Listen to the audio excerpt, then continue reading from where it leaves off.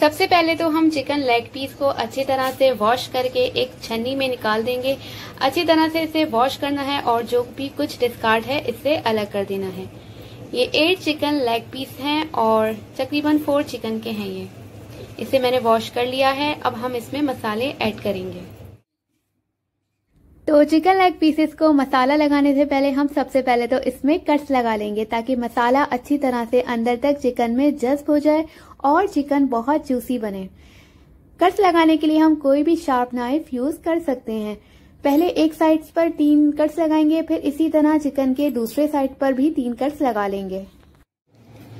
इसमें हम ऐड करेंगे कुछ मसाले, जिसमें 2.5 टेबल स्पून यानी कि ढाई चम्मच लाल मिर्च पाउडर है two tablespoon garam masala powder two tablespoon chaat masala powder one tablespoon जीरा पाउडर वन टेबल स्पून हल्दी पाउडर और वन टेबल स्पून नमक।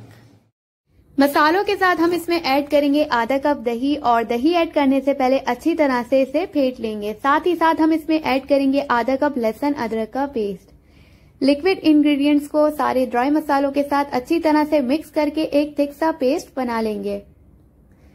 तैयार किए हुए मसाले को एक एक करके सारे लेग पीसेस पर अच्छी तरह से कोट कर लेंगे।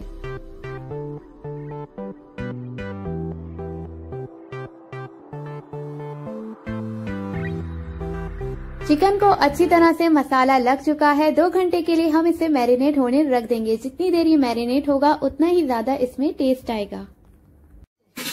कुकिंग के लिए कोई भी फ्राइंग पैन या नॉन स्टिक पैन में दो चम्मच घी या कुकिंग ऑयल गरम करेंगे।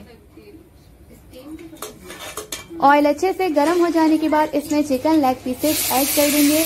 जितनी स्पेस है, उतने ही लेग पीसेस हम ऐड करेंगे और कवर करके 30 से 40 मिनट तक स्टीम में पकाएँगे। ये स्टीम में ही गल जाएगा। बाकी लेग पीसेस को आप उसी वक्त भी फ्राई कर सकते हैं या फ्रीज भी कर सकते हैं। 20 मिनट तक एक साइड पर कुक करने के बाद साइड्स को चेंज कर देंगे। ये देखिए कितना अच्छा सा कलर इसमें आया है और बिल्कुल भी बर्न नहीं हुआ। बिल्कुल अच्छी तरह से सॉफ्ट हो चुका है। साइड चेंज करने के बाद अगेन कवर कर देंगे और अगले 20 मिनट तक दूसरी साइड पर भी पकाएँगे।